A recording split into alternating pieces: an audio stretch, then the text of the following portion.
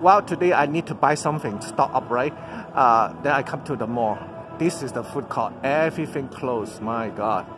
Look, nothing open. Not even take out. And look at the here. They remove all the table, all the chair. That's to show people that there's no sitting.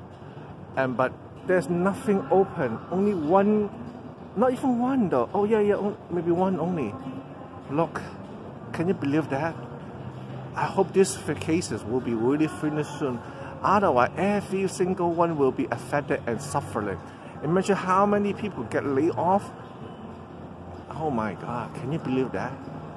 Look. Here before, at least 50 more table like this and chair. Now it's gone.